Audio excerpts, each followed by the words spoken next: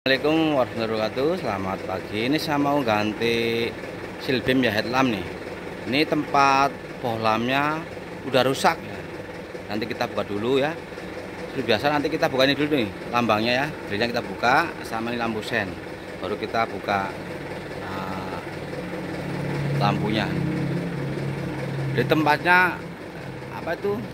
Katanya udah kayak kebakar tuh nanti ini ada penyebabnya. Ya jangan skip. Ini penting banget. Kadang-kadang kalau kita asal masang nanti ada efek. Jadi kalau kita masang bohlam itu harus tahu ya. nanti saya uh, tunjukin uh, biar lebih jelas ya.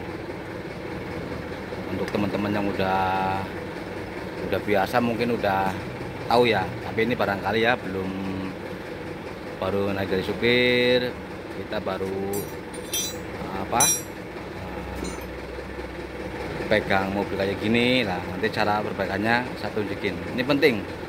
Jadi tempat bolamnya itu udah kebakar ya jadi kayak gimana juga kena panas kayak ini. Tadi udah saya ya saya lihat emang iya. Nanti kita uh, buka dulu. Ya kita lepas dulu nih grillnya ya.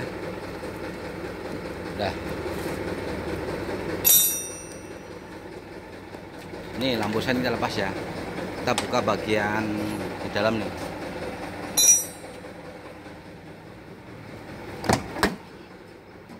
Ini kan ada baut dua ya. Kita kendorin dulu.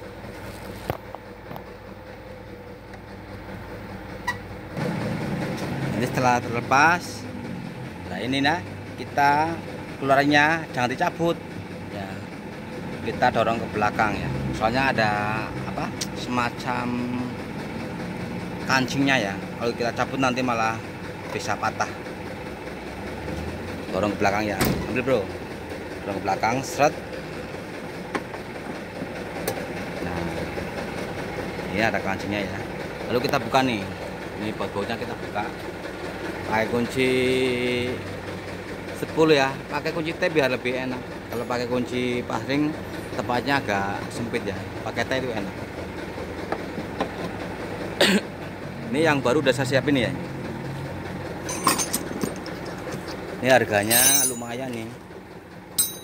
Untuk headlamp silbim ya. 250 nih. Ini yang kanan R ya. Sama harganya. Sebelah kiri sama sama yang sebelah kanan nih. Untuk yang kanan nggak diganti soalnya masih bagus ini yang sebelah kiri doang ini. Sorry sebelah kanan ya. Sebelah kanan sorry. Salah ngomong bro. Yang sebelah kiri masih bagus nih. Yang kiri masih bagus. Yang udah rusak yang kanan. Dari tempat bolamnya itu udah mungkin masanya kurang kenceng ya. Jadi leleh ganti yang baru. Harganya 250 nih. Nanti kita buka ya. Nah kita cabut dulu soketnya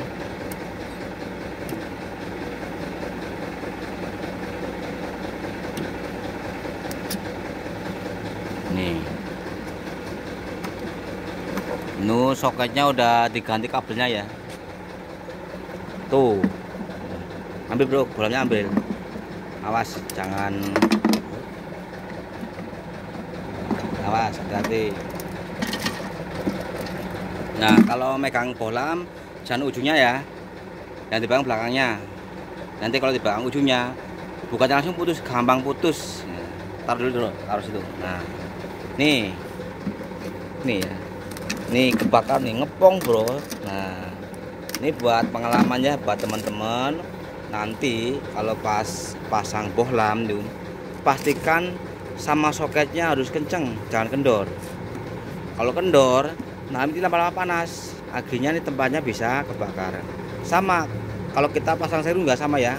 Pasang sekring harus kenceng. Kalau kendor itu tempat sekring di kincupin dulu pakai obeng min atau pakai kawat ya biar kenceng.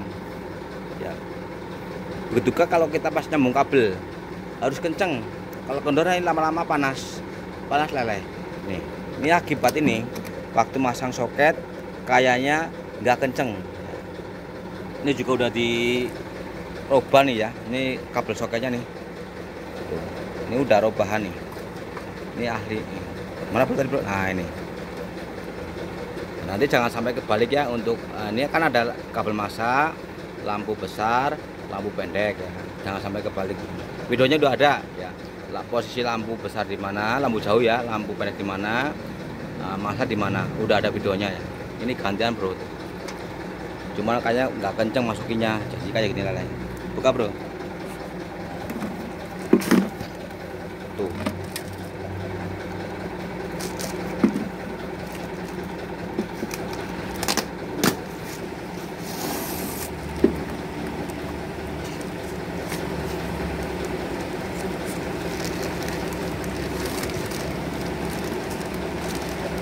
kita pasang ya. Nah ini ya. Ini sekedar masukan lagi. Ini uh, kan kadang-kadang uh, untuk lampu besar atau lampu pendek lampu jauh lampu dekat kan kadang-kadang ada yang terlalu tinggi ada yang terlalu pendek ada yang kurang masuk ke kanan ada yang kurang ke kiri kan. Ya ini di sini nih.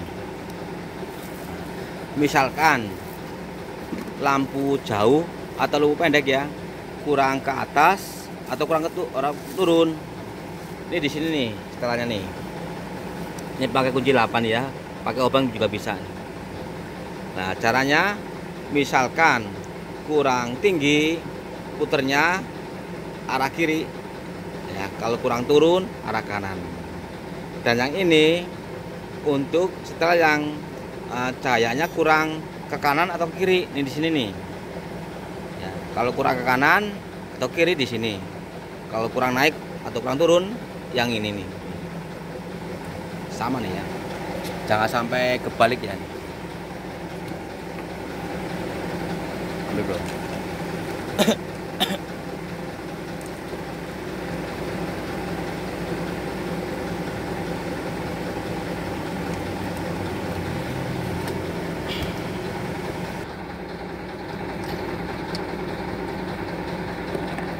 bolanya pasang dulu. Pastiin ya kalau masang nanti soketnya kenceng jangan kendor. Nanti kalau kendor panas akhirnya apa? Kayak gini nih.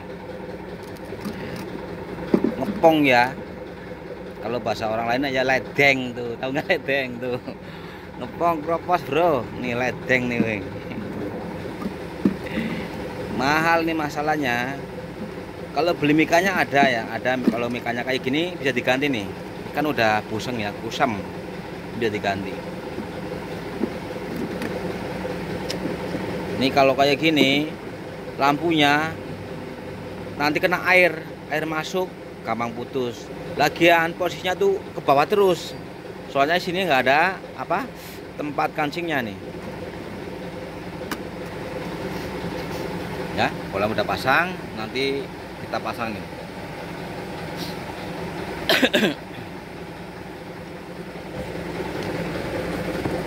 ini harganya kayak gini mahal bro. 250 kalau dua kanan kiri setengah juta. Ya soketnya kita pasang-pasangin.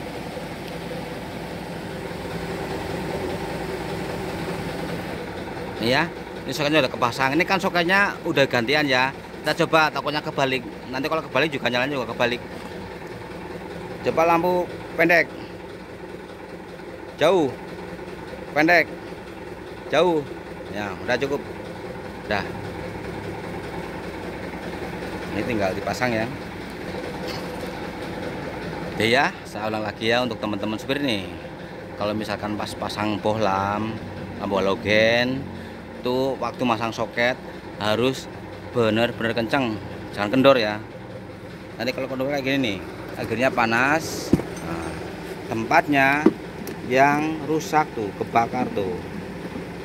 Kalau teman rusak harganya mahal. Sama ya pasang sini juga sama. Kalau kita pasang sakring harus kencang kalau kendor harus berin dulu.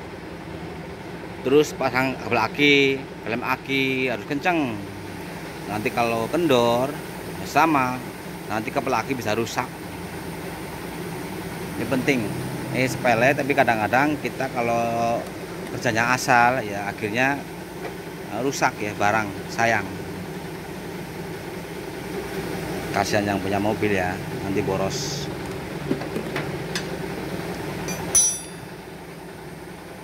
Ya baut-baut kita pasang nanti pasang ya lampu senya. Ya untuk cara pasang bongkar udah saya, saya udah tahu lah tapi yang penting ya ini penting. Waktu masangan soketnya harus kenceng. Biar kayak gini nih. Kayak gini kan akhirnya apa keluar duit banyak sayang ya. Aturan bisa buat beli yang lain akhirnya buat ngurusin kayak ginian. Karena apa? Karena kesalahan kita sendiri. Waktu masang kita nggak teliti. Ya asal tempel aja nih. Ini kayak gini udah nggak bisa diperbaiki nih. Kalau rusak ya ini ini bisa diperbaiki nih. Kalau gini kalau kusam atau pecah nih beli ada mikanya tapi kalau yang kayak gini ya udah kita harus beli satu kayak gini. Ini bekas lele tuh kan bekas panas tuh